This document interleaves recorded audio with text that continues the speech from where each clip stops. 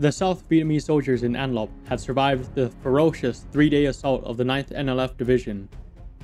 During April 16th, 17th, and 18th, the communist forces around An Loc stopped attacking to regroup and resupply.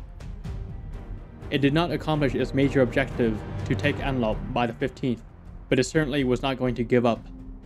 Five regiments made preparations to hit An Loc simultaneously. The 9th 271st Regiment would attack from the west, the 272nd from the north, and the 95C from the northeast. The 5th NLF Division's 275th Regiment and 7th PAVN Division's 141st Regiment would destroy the airborne east of An Loc.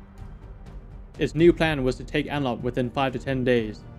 So sure of victory, the communists declared publicly that the city would fall on the 20th of April. On the morning of April 19th, the communist forces started a massive artillery bombardment encompassing all of An Loc. Afterwards, all three 9th Division regiments launched their assaults into the city. The second major attack to seize An Loc started. At the same time, the 275th and 141st regiments attacked the airborne southeast of the city with six tanks. The 6th Airborne Battalion, alone on its fire support base with six 405mm cannons, faced the equivalent of six communist battalions. It was completely smashed and thrown off the hills. The first company was destroyed, and the two other had to disable their guns to withdraw. While all six tanks were destroyed by LAWs and airstrikes, none of it made a difference. Lieutenant Colonel Din, the commander of the 6th, had his men dig a foxhole, jumped in, and resolved to die. One of the advisors, First Lieutenant Ross Kelly, managed to lead a small breakout of 60 airborne that were later extracted by helicopter two days later. However, the 6th Airborne Battalion was rendered completely combat ineffective. With the defeat of the 6th Airborne, the last supporting artillery in the area were completely gone. Only airstrikes could provide heavy fire support now. The 5th and 8th Airborne Battalions, however, were closer to the city. The 5th was just east of An Loc, and the 8th was in the south.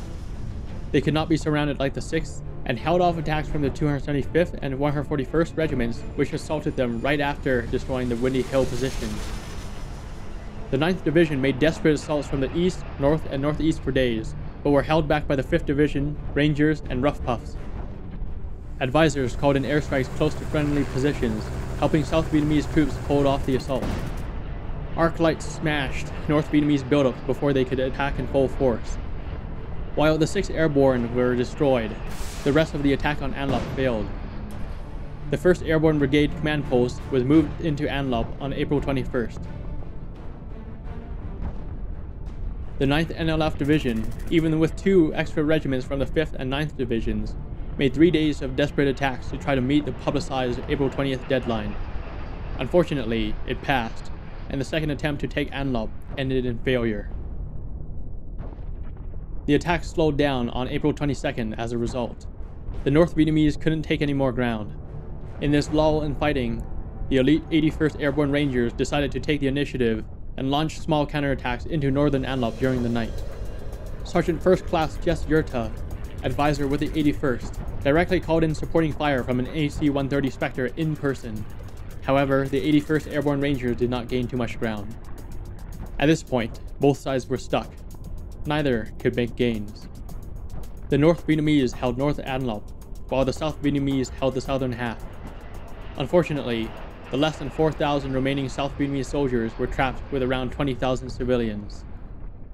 The intense artillery bombardment of 1,000 to 2,000 shells a day forced everybody underground. Food and medical supplies were stretched thin. The PAVN realized this and forced any civilians they could find into the city to exacerbate the problem. All civilians that tried to flee were met with communist artillery and forced back in. President Nguyen Van Thieu would later claim that their artillery killed 25,000 refugees trying to escape all three battlefields of An Loc, and Quang Tri. However, even with the sheer misery in An Loc, the second attempt to seize An Loc failed. Even then, while the North Vietnamese could not take An Loc by force, that did not mean they were defeated. If frontal assaults could not work, then the communists could try to outlast the defenders in a prolonged siege. They could starve the defenders out. Their anti-aircraft net of 23mm, 27mm, and 57mm AA guns in an estimated 9 anti-air battalions were deployed around the city. On April 19th, another Vietnam Air Force C-123 was shot down, and the Vietnam Air Force had to completely stop all low-altitude resupplies. The previous day, a US Air Force C-130 was hit by intense anti-air fire and was forced to crash land near Lai Khe the North Vietnamese could definitely starve out the South Vietnamese soldiers. The Vietnam and US Air Force were still trying to figure out how to resupply the soldiers in An Loc without losing aircraft. A new delivery system, dropping supplies from a high altitude and using a device to open the parachutes at low altitude was created, called High Altitude Low Opening, or the HALO system. Unfortunately, it was very unreliable and many deliveries crashed into the ground.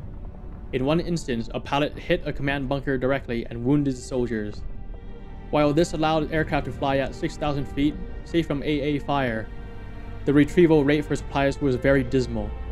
The situation was so desperate that some 5th Division men fired towards ARVN Rangers trying to retrieve supplies.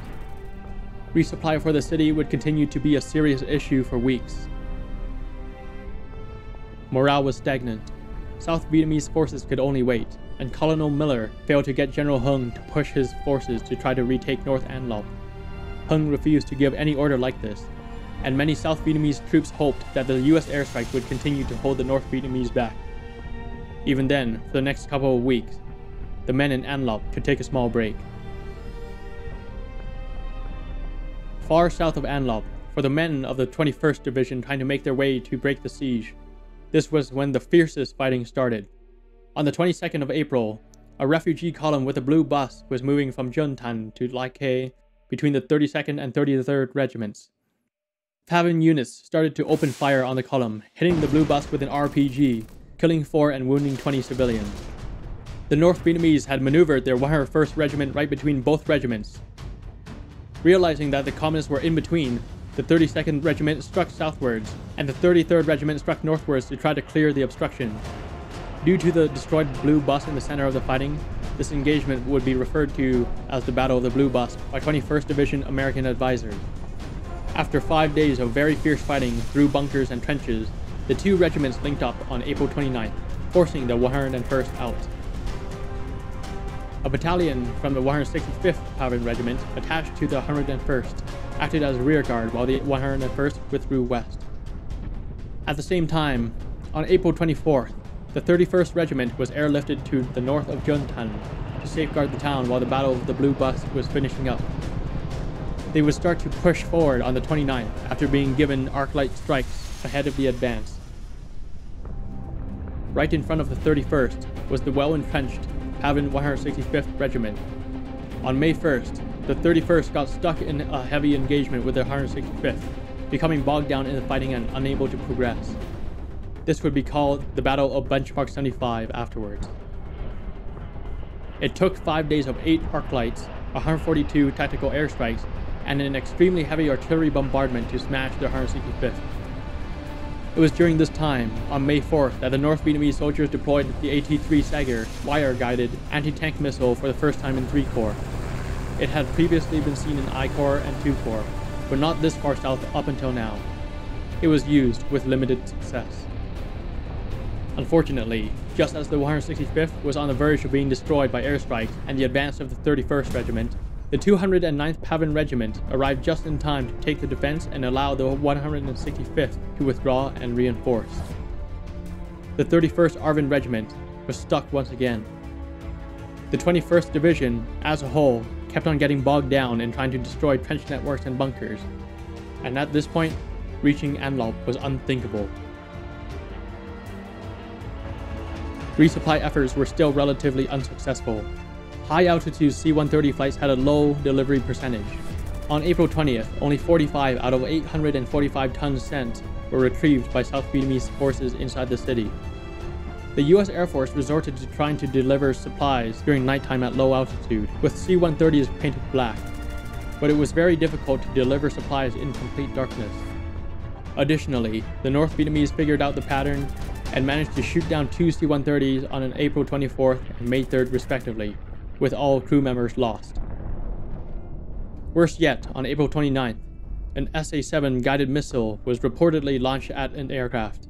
This completely stopped all low-altitude resupply flights. General Hollingsworth estimated that only 30% of supplies made it to South Vietnamese hands. The resupply effort was still only inconsistent at best, making the situation in the city tense. Even with the continued siege of An Loc, the failure to take the city by the publicly announced date of April 20th started to demoralize the North Vietnamese. The 9th NLF Division commander, Colonel Nguyen Toi Bung, was criticized for failing to take An Loc.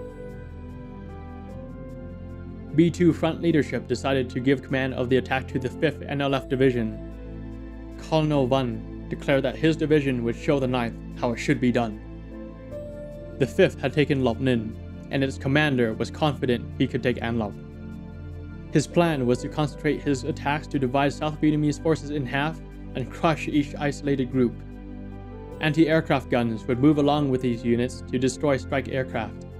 His headquarters moved to Hill 169 overlooking the city on May 1st. The 5th Division's E6 and 174th Regiments moved into the area. Along with the 141st Regiment already in the area, the 7th PAVN Division's 165th Regiment moved north towards southern An Loc. The fresh 21st Tank Battalion also arrived. Now, there were a total of seven Communist regiments surrounding the city.